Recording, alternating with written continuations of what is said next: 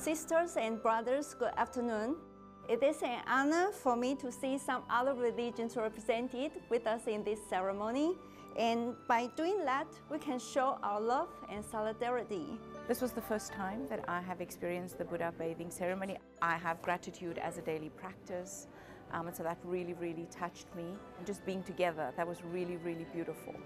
I felt uh, disconnected today, and this grounded me, and it really touched my heart. And I get emotional a little bit there, but it was very good. And it's exactly what I needed to remember the point of being here and helping everyone in whatever way we can around the world.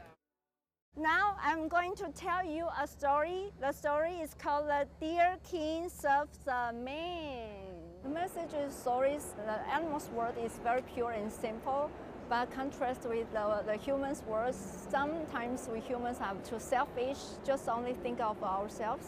Okay, let's continue. Every one of us can love and be compassionate toward any sentient beings. Welcome to this session on Buddhism in Action, turning life around in the Buddha's homeland. Of course, the main thing that I'm sharing is on what we have done in Lumbini in Nepal and also Bodh Gaya in India.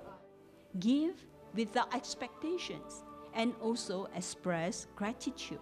Do not underestimate yourself. Everyone has unlimited potential.